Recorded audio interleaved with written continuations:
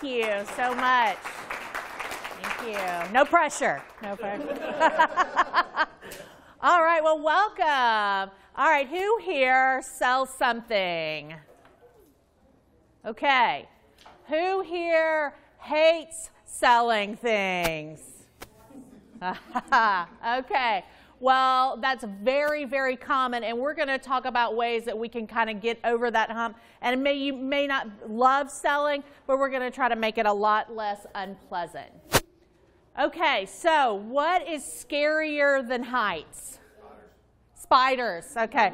what's, what's scarier than spiders?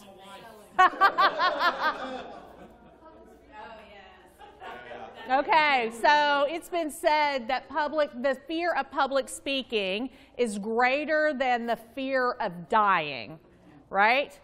What's scarier than this? Hmm, it's the fear of rejection, right? I know we're all big grown-ups and um, we think that we're over that, but honestly, there's a lot of us that we still find that we resist or back away from um, what our true potential is because we're fear we're afraid of someone hurting our feelings okay? Um, and what do i know about a fear of sales or about a fear of rejection?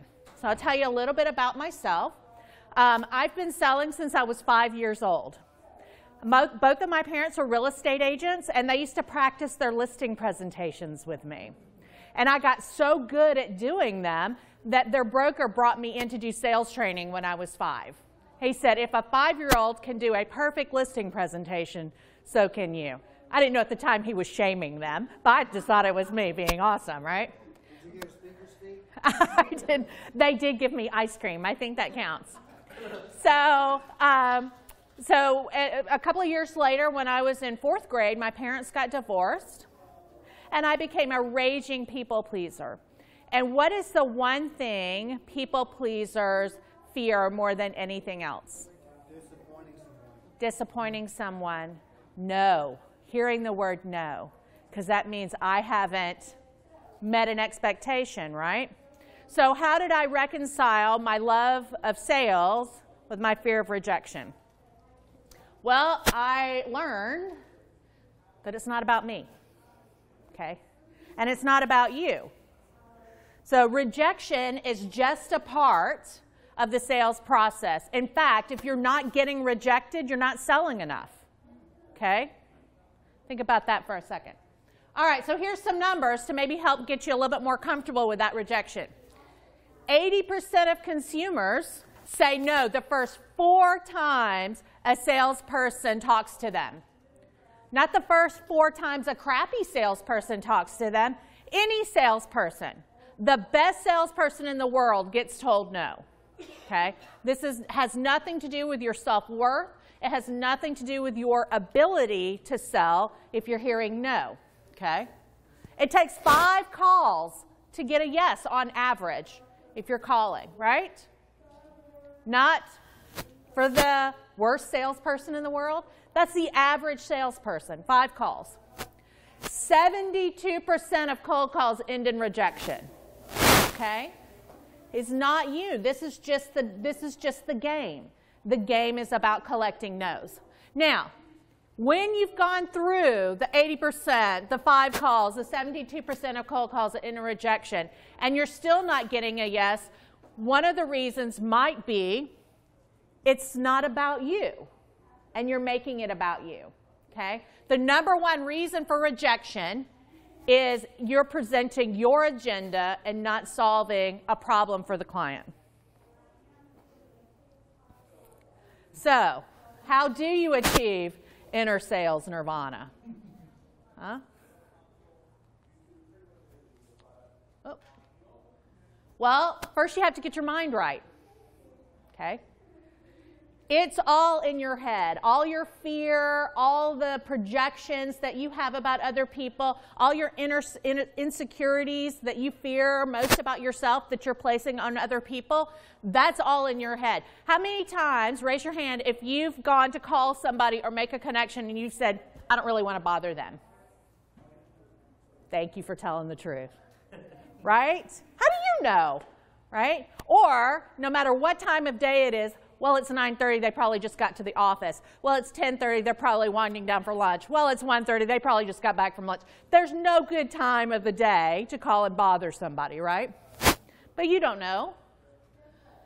Because you're attempting to read their minds. How many psychics are in here? Me? I was a psychic for 2 days. That's another story for another day. But at, even at then, I can't tell what somebody is thinking about when I go to call them, right? I don't know. I'm trying to read their minds. When you go to call someone, one of the most powerful things you can do is operate non judgmental self observation. Have you ever done this? What this is, is that you just listen without judgment to yourself, to your own self talk and behavior, and just observe it.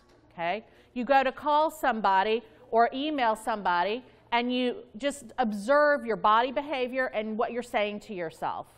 And if you say or you start saying negative things to yourself, just observe it and go, that's interesting that I do that. Don't judge it, just remark it write it down, and move on. Because what'll start happening is you'll start saying, you'll start changing because you'll start realizing that you're sabotaging yourself. Just listen to yourself talk. Don't beat yourself up, but just observe it.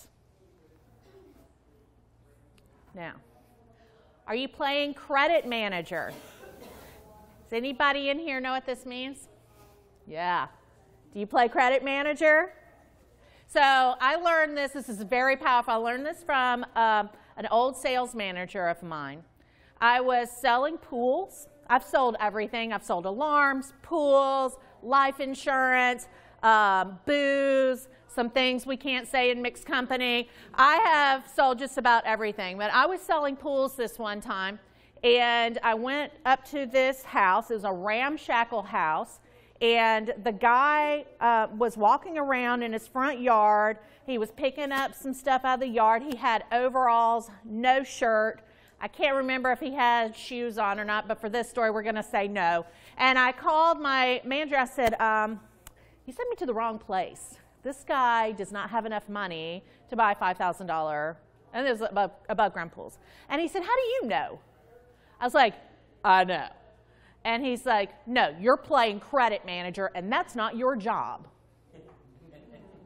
okay. He said, In fact, I've been on the phone with this guy, and this guy's not buying a pool. This guy's got a young wife. He's buying, seeing his wife in a bikini for the rest of the summer. Now go in there and give that man what he wants. Okay? Right? Because I was playing credit manager, I almost talked myself out of a deal. Are you thinking about more uh, what's in it for you than it's what's in it for the client? Nobody has ever sat out in their car before going in to do a sales conversation with somebody sweating bullets because they were afraid they couldn't solve someone's problem. Okay? When you're feeling that anxiety and when you're feeling that fear and you're feeling that resistance to go and have a sales conversation, it's not because you don't have the solution that they've been looking for. It's because you're focusing on what you need to get out of it. But if you put that aside, and it takes practice, but if you can put that aside, then you can go in and really focus on the other person with power. Are you having enough sales conversations? Right? Are you doing this enough that you're comfortable? Or are you doing it just enough to survive? Okay? Repetition. Do you think the person at the drive through at McDonald's, when they upsell you on your fries, do you think they have sales fear? No. no. Why? Because they do it 700 times a day. Do you want fries with that? Do you want fries with that? Do you want fries with that? Right? So if you make more chances to interact with clients, you have more chances to um, have more closing conversations, even if you know it's not going to go anywhere. You're exercising that muscle and you can gain comfort and repetition. Okay?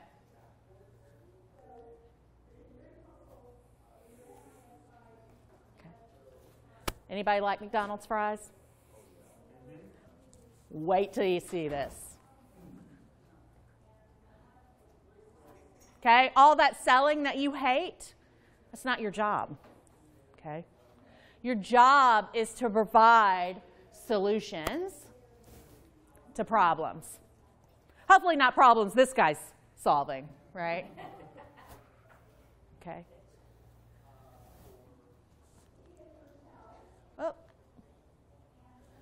What makes really easy to get really good at solving problems is defining who you're solving problems for. Okay? It's not everybody in the known universe. And the more you can get clear about who your target market is, the easier it's going to be for you to solve their problems. And the more power you're going to have behind you and in your heart when you know that you can solve a problem for somebody because you've done it. Yes? Will you come back and speak more about this? Absolutely. I'm gonna, we're going to have a robust question and answer session at the end. Okay. So they don't need a salesman or a saleswoman. They need a trusted guide. They need a trusted advisor to walk with them and give them advice. Now, is there a difference between selling a website and being a trusted advisor? Yes, you can. Yes, you can. What you can't do is sell websites and be a trusted advisor. And, I mean, you can obviously make a sale, and that's the point. But you can't go in with my, if my job is to go in and sell you on a website, that's not going to elevate the conversation the way that I come in to find a solution for what you need, right? Those are different conversations. Okay. Let me make sure. This is a new cl- clicker for me. Okay. So start to get to know them as their trusted advisor. What do they need? Where's their pain point? Right? What, what's really keeping them up at night? And if you can start a conversation from really what's important to them, then you can get a lot further. Um, and, and start, want to tell you about my biggest referral partner I have. My biggest referral partner has sent me a lot of work over the years and he has a lot of business, and everybody knows that he's got a lot of work. Okay? And people have been coming at him for years trying to get his business. Okay? And they come at him with, I want to get some of those referrals. Well, when I met him, I said, What's your biggest pain point? And he said, I hate content. And I said, in my head, me too, right? but I can do content. And I said, why don't you let me take that off your hands? And so I started doing a little trust building with him. And then one day he said, you know, I've got all these referrals I could send you. Right? Because it wasn't about me, it was about solving his problem. Find out what they like about folks they don't buy from. Okay? If you don't know where to start a sales conversation, ask them about who they've done business with in the past. Was there something you didn't like from the people you didn't do business with? I went uh, to talk to this gentleman, and all he could talk about was all the people he had already met with about this project. He had met with six other web agencies, and he hated them all. And I said, Well, what was the commonality? What did you not like about them? He said, They don't know how to hustle and they don't know how to communicate.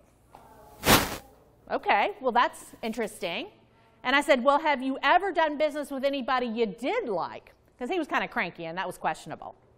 And he said, Yes, dozens. I said, What was the commonality? What did you like about them? And he said, They knew how to hustle and they knew how to communicate.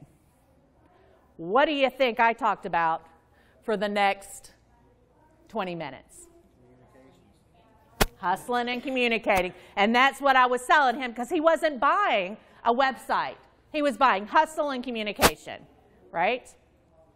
So listen what they say when they get agitated. If you walk into a conversation and it's they are just irate, okay, that could be a red flag. But that could be an opportunity to recover a really great project. And then you can talk their language to them, bending your story to their concerns. Right? And be ready with a solution to their problem that they just told you about, right? Not the website, the solution to their pain, or not the logo, or the branding, or the content, right? You want to solve their problem.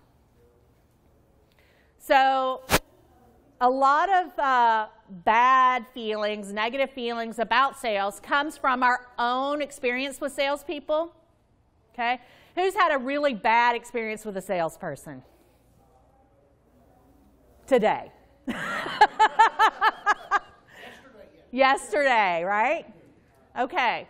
So, what we want to do is we want to take some of these old, tried and true, classic sales techniques and we want to update them uh, for the digital age. And we want to do it with a little bit more style than these jokers have been doing. Okay. Anybody ever seen a going out of business sign? Right? Has anybody ever seen that furniture store that's been going out of business for the last three years? Yeah, we all, we all know that guy, right? All right, so updated for the digital age. Urgency. Because that's really what that's about urgency and scarcity. So, one of the ways that I use urgency and scarcity is I'm booking up quickly. I can only take on two more projects, and I'd love one of those to be yours. Okay? Anybody remember, and this might be dating myself a little bit, anybody remember when you were kids and a salesman would come to the door, your mom would open the door and he'd stick his foot in? Right? That was back in the day. Foot in the door, because you can't close the door, right? Updated for the digital age, tripwire product. Because all you want to do is get them in the door, right? Build some trust, build some um, communication. So maybe you can't, maybe you can sell them your big enchilada the first first time, but maybe you just need to sell them a bite. Here's one. What about now? Now? what about now? Updated for the digital age. Continuing to demonstrate your prospect's value. Okay? Maybe this is not, hey, did you see that proposal? Maybe this is, hey, I saw this and I thought of you. Which one is building relationships and making it about the client, and which one's making it about you? Right? So if we all, if we continually turn the frame away from us and back onto the client, we can we can just solve almost every situation we have.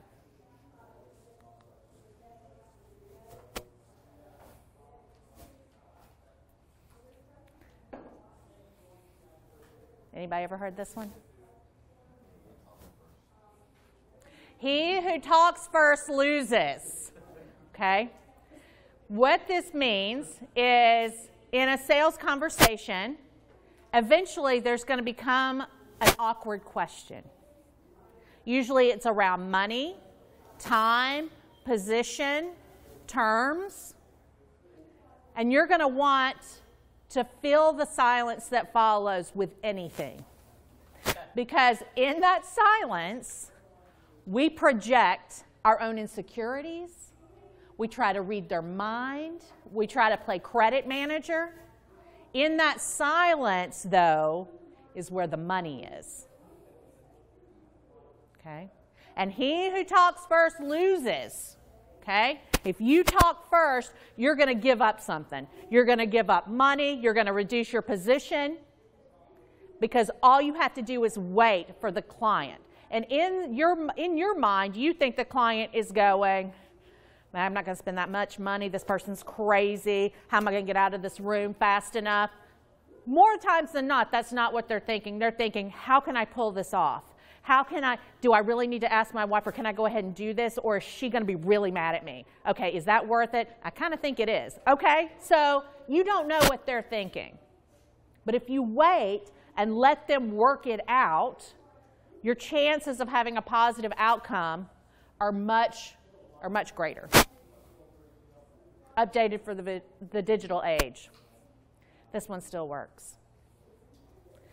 I want you to think about this. There are probably hundreds of thousands of dollars left on the table every year because salespeople can't tolerate silence. If you could take one thing from here, I would say learn to practice sitting in silence with your prospects and your work peers and your family members.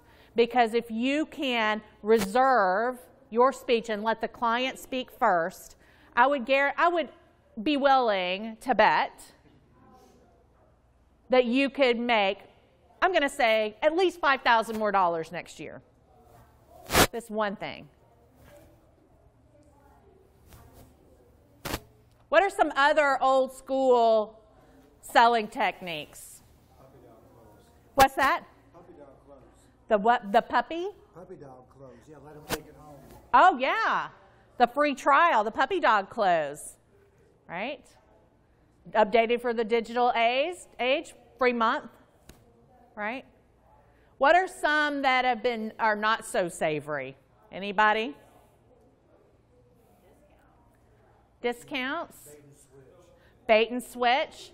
So discounts. What do you find unsavory about discounts?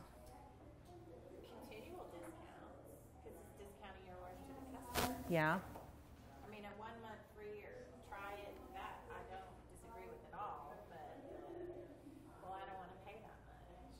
Yeah. Oh, okay, then we'll just cut the price in half, Right. And what does that tell the client? that we're worth half as much. that you're worth half as much and you are overcharging them. And every price is negotiable from here on out. Every hour, Mm-hmm. What with the bait and switch? We're going to sell you this, but we're going to deliver you this. Right?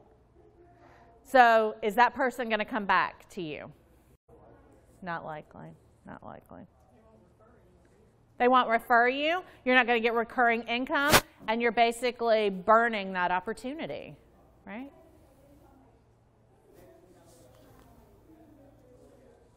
So when you are trying to sell, what's that what's the voice saying in your head? Hmm? This is a bad one. But I've got a prize for the brave person. Mhm. What's your what's your, what's the uh, what's your brain saying to you?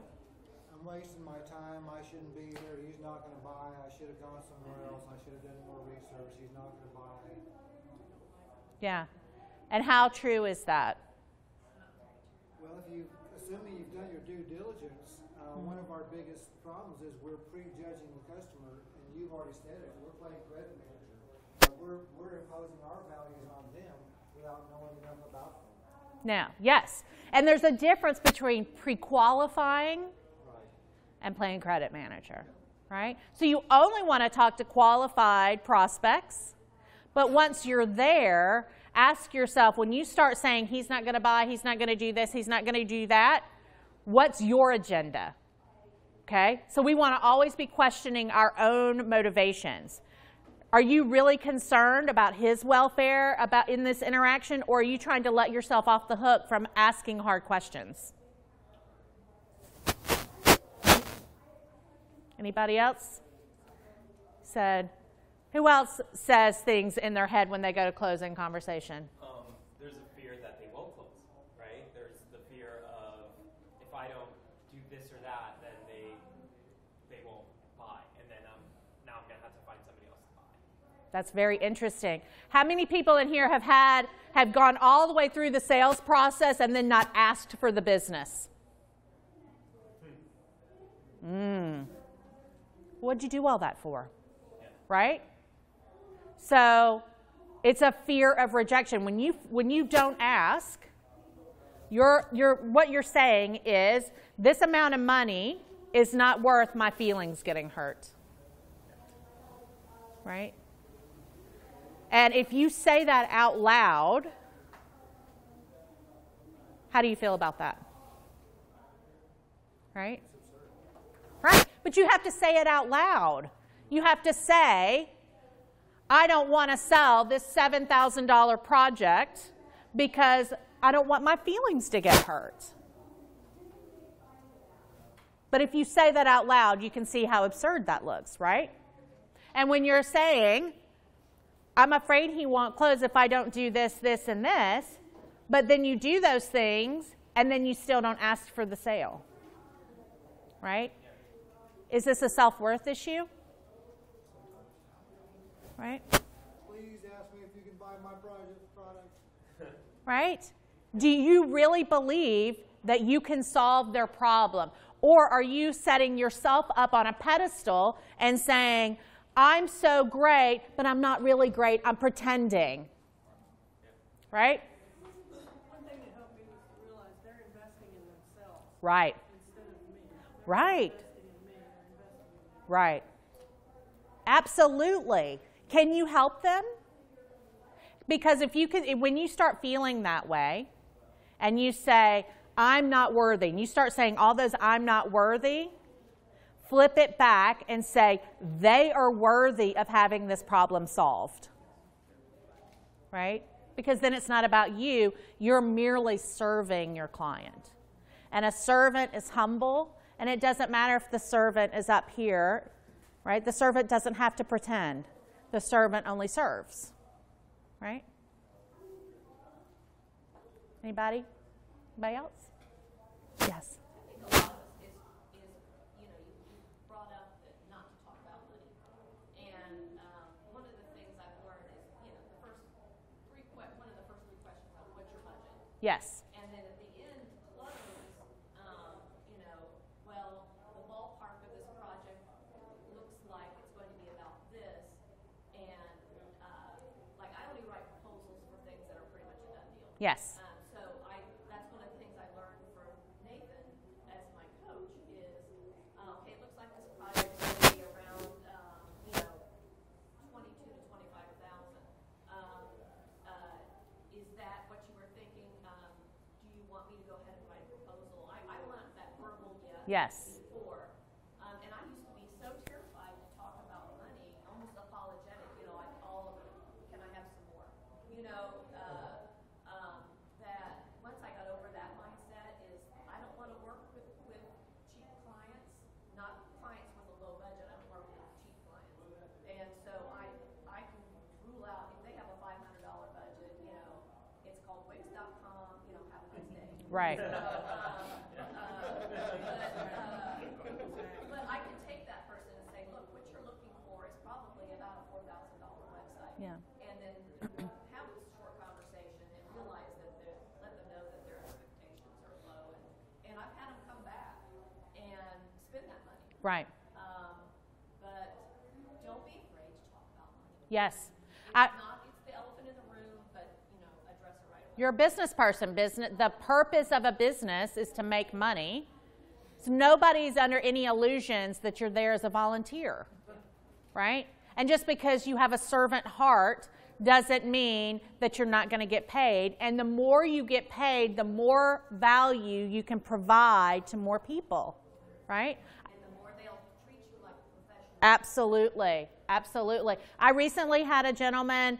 Um, he, came to me and I qualified him, and we were we were at the budget part of the qualification, and he said he didn't have the budget for what his project needed. And I said, well, I'd like to introduce you to Shopify, and when you're ready for professional design, I would love to talk to you again. No, no, no, no, no, no, no. I'm ready, and when when I'm ready, you're the person I want the takeaway close, right? But also, it's not just a technique, it's because I know my value and my ability to serve him. And if I'm going to serve him at one third the price, it reduces my ability to serve my other clients and my family. because that's who I'm serving most of all. And it is worth noting, since we are talking about money, there are prospects and, and companies that have a budget in mind. If you come in and try to lowball them to get their business, they're gonna take you less seriously and think, think less of you. Yes. In fact, I had a conversation with a gentleman last week who was struggling with this this very thing. He went in, he talked to a furniture uh, retail store, and he came in with a budget of four thousand dollars, and they said, "Our budget is twenty. You're too small. We don't want to deal with you." Yeah, I, I was gonna say like it, it was funny we were all laughing about like sending somebody to Wix, but like actually that is a solution. Like for Right. that person, right? If they don't have the budget, then that that is a solution that they can use, and then they might remember that down the road. when Right.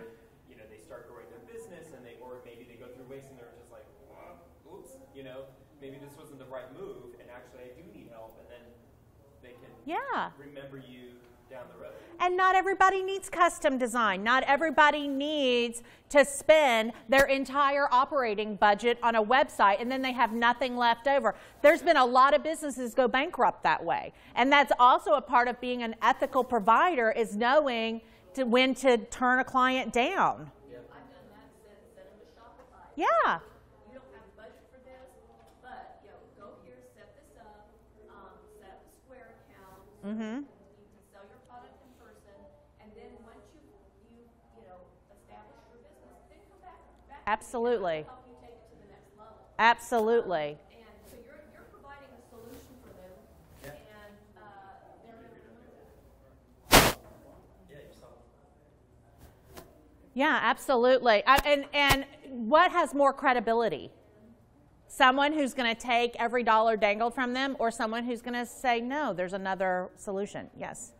When you think of uh, like a, a qualifying form on your website, uh, so in other words, sending people to uh, a form that asks lots of questions, asks a bunch of questions, et cetera, et cetera. So here's my website, and I have this on here because this uh, fear of sales. If you click that button, you can get the slides for this. Um, they're actually one set of slides for WordCamp Atlanta, but they're the same ones. And um, but you see this Get Started tab. Okay, I have uh, worksheets on there where it says. What's your name? What's your project? Who's your competition? What does success look like to you? What's your budget? You know, that they can fill out before we even have a conversation. Now, sometimes I will talk to just about anybody until they tell me to shut up.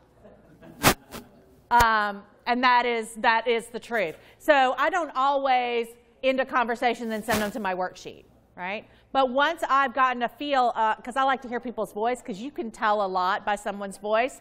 And there's been quite a few times someone's been on the phone with me, and I say, you know what? I can tell right now that I'm not the person to provide the solution to you, but I know somebody who would be a great fit for you, and I refer them on, right? But if we are, then I can send them to my worksheet, and they get a lot of that, and it, it just makes it a better conversation. And also, never let a lead die unless that person you is a known sociopath don't let a lead die because one man's trash is another man's treasure. I had a lead come to me and this guy was a hot mess. I mean anxiety through the roof nitpicking everything. And i just knew i mean just from our first conversation that i, I, I was not going to be able to deal with him right?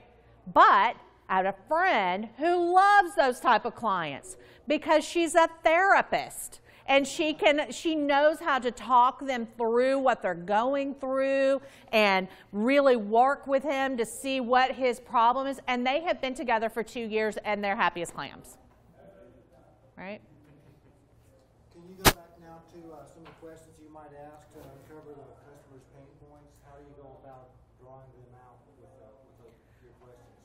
So I'm a member of WP Elevation, and one of the things that they teach in that program is something called Go Wide and Go Deep.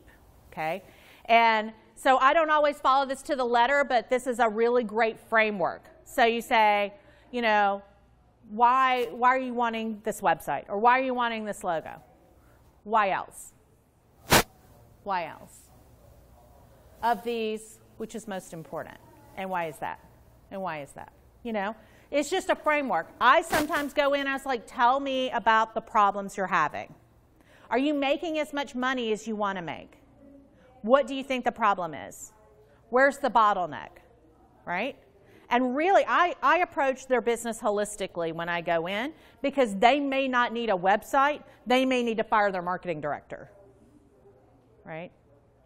They may have a perfectly fine website, but the person doesn't know how to use it. Right? So I want, I want to position myself as a digital consultant. That's, that's my business model. So I go in and I'm just like, tell me your story. And then usually if you listen and you're not thinking about how you can leverage what they tell you, and you listen, something will pop up and you just, the pain will come up and then you poke it. Right? Oh, that's sore. Let's, let's see what's underneath there. Especially if they start, if they get very reactive talking about the last time they dealt with a digital professional. Okay? My ideal client, I'm their third agency okay? Because they've grown. They started off with somebody small, then they did something else, and now they've outgrown it, but they've ha- they have some ideas about what went wrong along the way, right? And they have some pain. But if you start listening and you start and you really care about what they're saying, there's going to be some pain, and then you could go, let's talk about that, right? But you have to feel confident in your, and, and you can fake confidence, but you have to at least present a confident demeanor that you care and that you can help them solve that. And you can even say, I might not be the person to solve it, but I can point you in the right direction. And that also solves their problem and lets you off the hook. It. And it builds trust. Okay? We only have a few more minutes. Anybody else have a question? I just have a comment, something you mentioned about the constant discounting.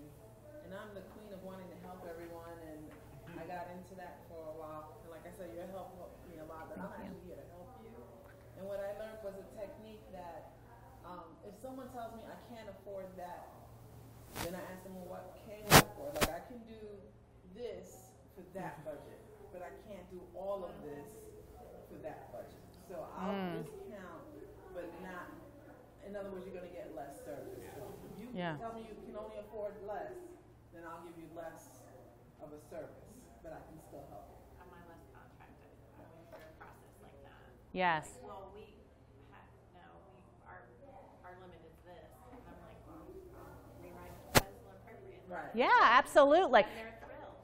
Have you ever had anybody say they don't know what their budget is? I bet they don't. I bet they know what their budget's not. Right? Oh, you don't know what your budget is? Is it fifty thousand dollars? No, I was thinking seven. Oh, okay. Well, now we've now we've got a conversation.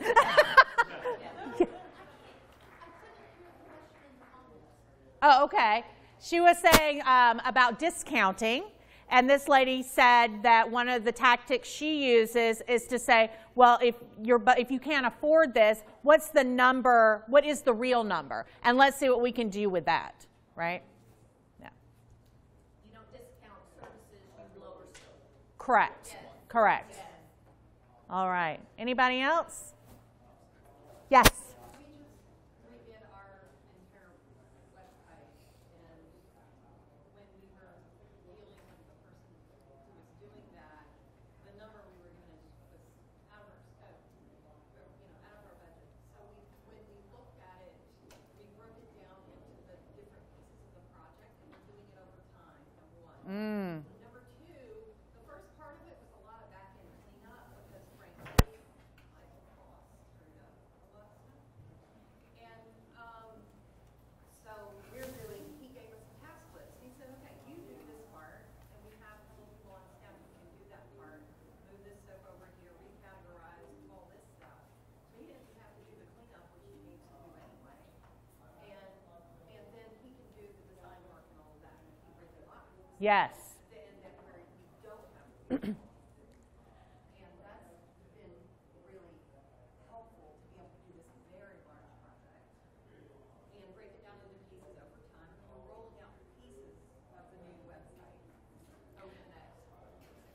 Some of the most beautiful words in the English language is um, That's a great piece for phase two. Right? His idea to do it, I had had that idea, but mm-hmm. it Yeah. And it helps us and it helps the client because the client may not can afford that and it helps us to keep scope creep, right? If somebody keeps adding and adding and adding and you should always have in your contracts a defined scope, right? But if they're saying, "Well, I want to do this too." That's fantastic. That'd be great for phase 2. Or I can't afford this. Well, let's break it into phase 1 and phase 2. Another thing I've had recently is I have a client who likes to complain about everything costing too much. But I found that when I explained to him why it takes this long, and when I explained to him what we have to do to make that happen, he's like, "Oh, okay, here's a check." You know, Right. They just don't know what we do in a lot of cases, we have Yes. Yes, you have to educate them. You have to show them what's in it for them. You have to explain your product because you're the professional and you got that way by building your skill set and you didn't someone didn't just show up and hand it to you, right? So there's a lot of complexity in that and you have to be able to translate that to them so that they really understand what's happening. Absolutely. Okay, one more question. We're all done. Anybody? Yeah, real quick, uh, since you asked, um, what are some of your favorite foot in the door strategies? Well, I'm very fortunate that um, 85% of my business comes by referrals. Okay? I do not, that is very intentional. So I spend 20% of my business week in community. Okay? Four days a week I'm running my business hands on. One day a week I'm in community at least. And sometimes it's usually two to three hours a day. So I'm very active in the Atlanta um, WordPress community. I, um, I always uh, try to have lunch with somebody. When I get a check, I'm taking somebody to lunch, right? And that's great for building relationships because guess what? People love lunch, right? And um, so when if I'm wanting to get a, a foot in a door, if I'm wanting to meet somebody, I one of my leads is I was like, I'd love to get to know more about your business and how I can encourage you. Okay. And really, that's all I'm wanting is I'm wanting to meet somebody and see how I can encourage them because I don't do cold sales. I mean, I might in the future, but that's just not where I am right now. I just want to meet people that I can encourage, and then usually that develops into a referral at some point. And referrals are warm, they pay you more, they respect you more, right? That's where you want to end up. Now, obviously, you want inbound as well because you don't want to be completely dependent on someone else's business model or someone else referring you, so you want to have a balance. But referrals are the where the gold is. So when you say community, what do, you mean? Okay, so for um, if you don't live in the Atlanta area and you don't have a nutrient dense environment for WordPress like we do, I bet you have a Chamber of Commerce. I bet you have a Rotary Club. I bet you have a BNI, right? And what you can do is um, is you can just go to those go to those places and just make connections, one-on-one connections, right? So, hey, I'd love to know about, more about your business. You want to go grab some coffee? Because I want to know what you do. And also, it's good if you want to find out who you can refer to that person, right? Oh, you're a plumber. I'd love to learn more about your business because everybody needs a plumber at some point, right? And if you just always turning it back on them, turning it back on them, because then you're not bothering them. In your head, right? All you're doing is you're building relationships. It sounds like your framework is. Oh, that should be everybody's framework. I heard that before. Yeah. Everybody's framework should be what you can do for them. And if you continue to do that, obviously you're going to want to monetize it appropriately. Sowing and reaping. Yeah. Well, thank you so much, um, guys. Um, thank you so much for coming, and I'd love to chat with you later. And um, please, uh, there, if you want to spend 15 minutes or 30 minutes chatting with me, you can go to bookwithapril.com, and I'd be more than happy to spend some time with you on the phone talking about whatever your sales fears are, because that's what my mission in life is to help you be able to sell more so you can take better care of your families. Okay?